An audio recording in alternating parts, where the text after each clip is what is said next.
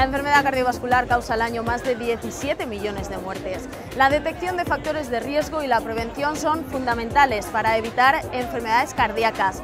Hoy en Alboraya nos enseñan a salvar una vida y también a cómo cuidar nuestro corazón. Bienvenidos a los informativos de CECOBA Televisión.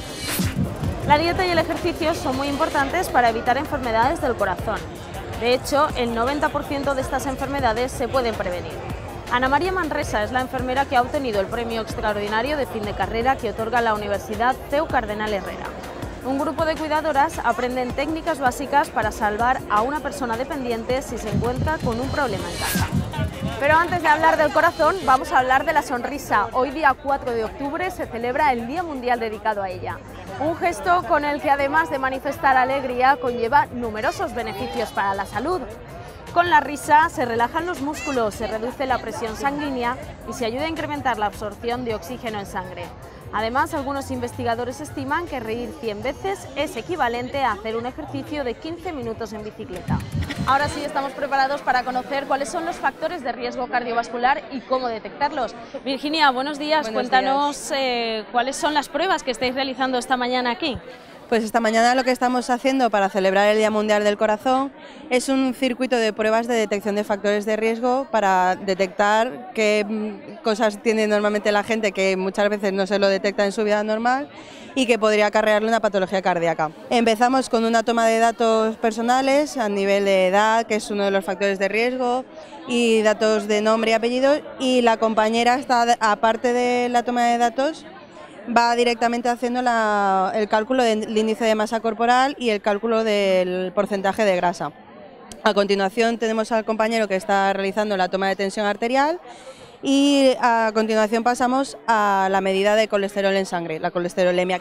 Cuando ya tenemos todos estos factores detectados, en la fichita que le vamos dando a la persona, pasan a hablar con el doctor o la doctora que está a continuación con varios folletos informativos y le hace un resumen de los factores que, que tiene en conjunto para decirle qué hábitos tendría que modificar en su estilo de vida y qué consejos podría llevar a cabo.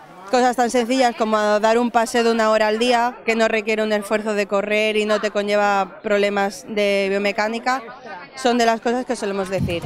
Estas dos atletas han dejado hoy huella en la primera carrera de 5 kilómetros en el Día Mundial del Corazón. Vamos a conocer un poco por qué es importante el deporte para la salud. Cuéntanos. Hola, buenas. Pues nada, es mi primera carrera. eh, fui mamá hace un año y me he puesto a correr ahora porque mi marido corre, hace maratones y organiza esta carrera y me ha, me ha motivado a hacerla. Ha estado muy bien y he corrido con mi sobrina también, o sea que fenomenal. ¿Es importante el ejercicio físico para la salud? Es muy importante, yo llevaba 20 años sin hacer nada de ejercicio y ahora llevo un mes y medio corriendo y me encuentro fenomenal. No perder la motivación y aprender del día a día. Este es uno de los consejos que da la enfermera que ha obtenido el premio extraordinario final de carrera que cada año otorga la Universidad CEU Cardenal Herrera. Hemos hablado con ella y esto es lo que nos ha contado. que ahora en el periodo que estamos, que no hay trabajo, que se ve todo como un poco negativo, yo empecé a estudiar esta carrera eh, ya con, con 33 años y la verdad es que nunca me desmotivé. Tenía un niño eh, y nunca me paró nada y empezaban a decirte no vas a trabajar y a mí me daba todo igual. Yo siempre he intentado, tienen que aprender lo máximo posible porque esta carrera es muy amplia, entonces te dan las bases para que tú entres en, en tu carrera profesional y comiences y tú vayas aprendiendo día a día.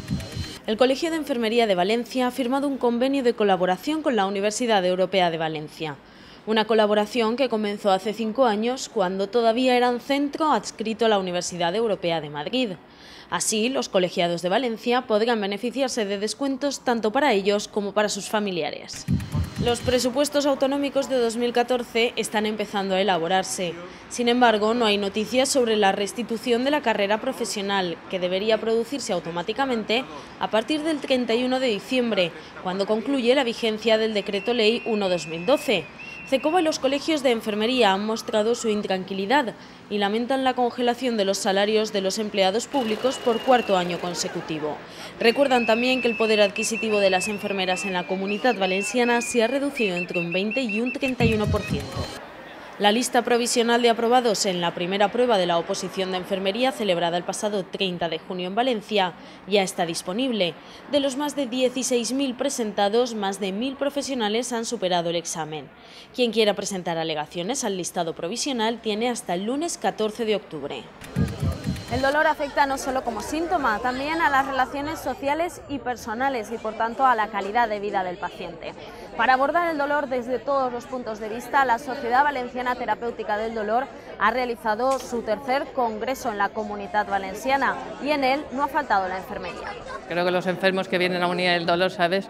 Sufren mucho por el dolor crónico que tienen. Nosotros tratamos el dolor crónico. Eh, somos las enfermeras las que aplicamos el tratamiento y realizamos los cuidados de enfermería en el dolor agudo posoperatorio. Nosotros hemos pasado por todas las fases en las que se hace el tratamiento del dolor. Empezamos hace 25 años con la terapia solamente intravenosa, con los fármacos que había en aquellos momentos, el diclofenaco y el metamizol. Después hemos sido pioneros, eso sí, gracias al jefe del servicio, en la introducción de las bombas del dolor, las PCA.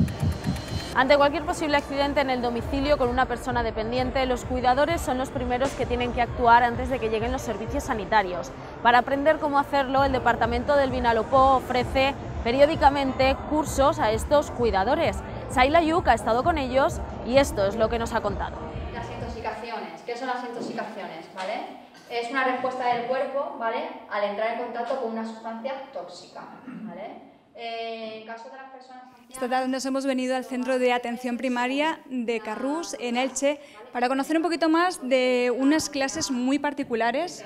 ¿Por qué, Chimo? Cuéntanos.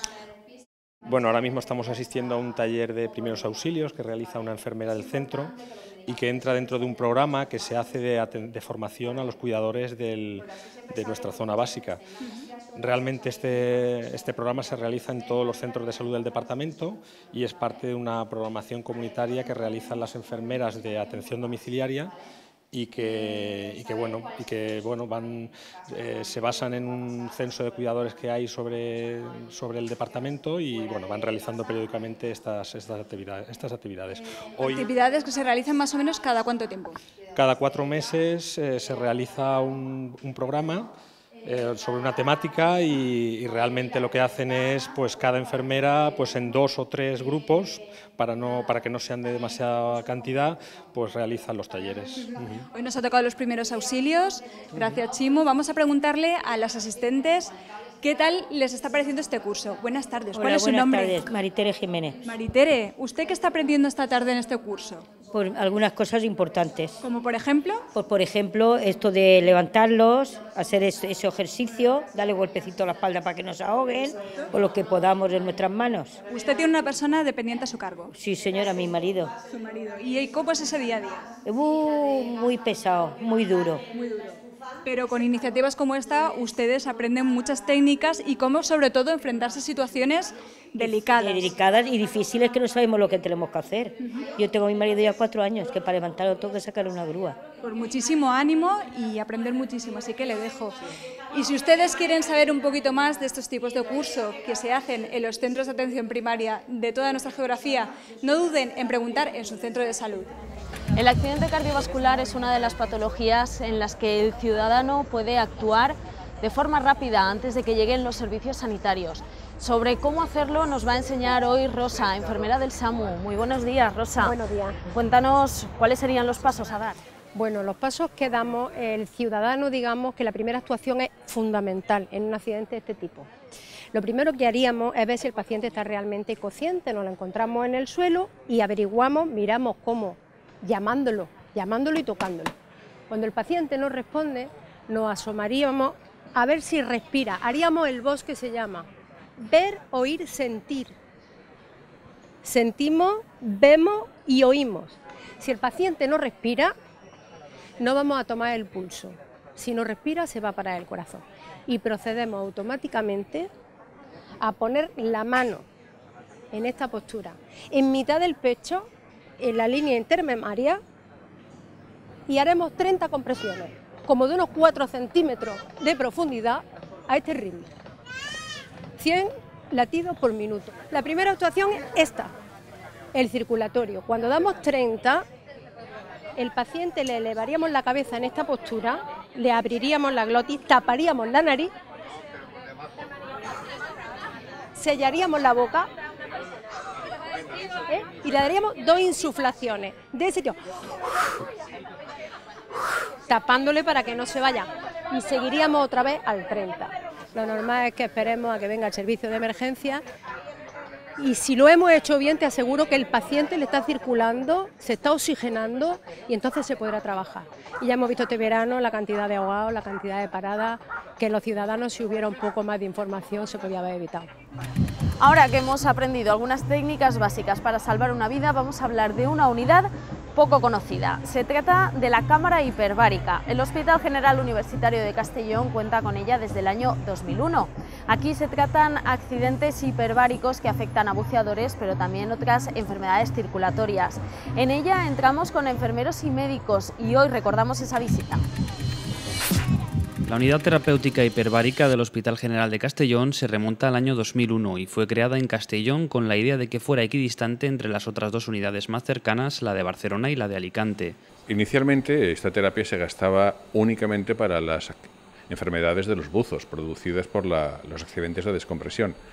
Después se empezó a utilizar en otras patologías que tenían que ver los gases en ellas, como la, embolia gaseosa o la gangrena gaseosa, pero eh, poco a poco se vio que muchas enfermedades tienen en común un aspecto y es la falta de circulación sanguínea o, la falta de oxígeno. La cámara se utiliza mediante sesiones de una hora y media en la que una decena de pacientes acompañados de una enfermera deben permanecer en su interior, sometidos al aumento de la presión del oxígeno. Lo mismo hay pies diabéticos, que hay sorderas súbitas, necrosis de avasculares del, de las cabezas del fémur. Las condiciones de trabajo requieren del enfermero una preparación adecuada, sobre todo en lo relacionado con los riesgos inherentes al aislamiento. Tienes que tener conocimientos de manipulación de pacientes críticos, porque también entran gente, puede entrar gente en coma eh, y crítico, claro, por supuesto, tienes que saber conocimientos mínimos de UCI.